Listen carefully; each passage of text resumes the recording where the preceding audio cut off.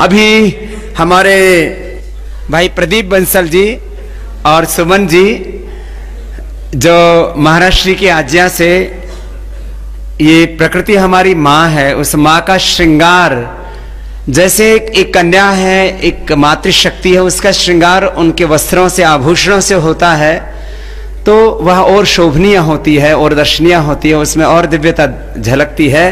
ऐसे ही प्रकृति माँ का श्रृंगार है वृक्ष।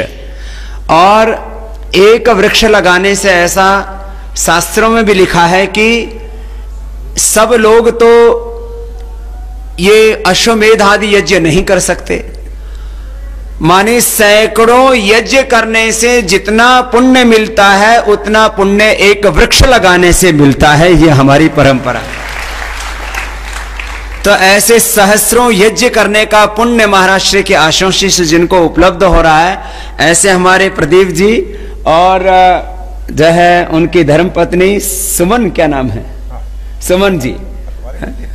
आ, सुमन ये हम बचपन में लगाया करते थे पीपल का बड़ का नीम का पेड़ वही इतने सुंदर सुंदर पेड़ लेके आए एक बार जोरदार इनको अभिनंदन है भाई। ये यहाँ से अब पेड़ जाएँगे और ब्रिज में लगेंगे। एक बार जोरदार अभिनंदन है। यमुना जी के किनारे। और ये पीपल का इतना बड़ा पेड़ है और सुमन जो है अपने वज़न जितना पेड़ उठा के लाई है उसको भी जोरदार आशीर्वाद है। ये अभी तक करीब कितने हो चुके? करीब पचास? करीब सत्तर हज़ार पेड़ लगाए जा चुके हैं। ये कितना बड़ा एक आदर्श कीर्तिमान पूर्ज महाराज श्री के सानिध्य में वहाँ पर संपन्न हो रहा है और उस उपवन का नाम भी पतंजलि उपवन रख रहे हैं। महर्षि पतंजलि को आदर देते हुए गौरव देते हुए उनका सम्मान करते हुए तो एक बार बाबा का सम्मान करते हैं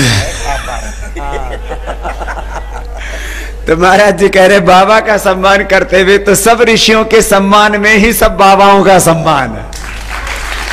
तो हमारे जो पूर्वज हैं, हम उनको गौरव देते हैं। तो वो अपना ही गौरव है, क्योंकि हम अपने उन पूर्वजों के ही प्रतिरूप हैं।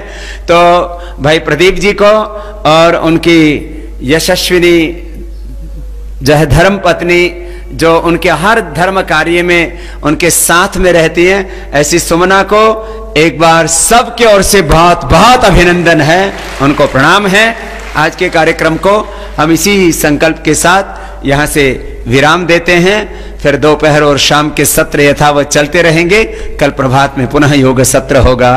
बोलिए भारत माता की, गौ माता की, सत्य सनातन वैदिक धर्म की जय।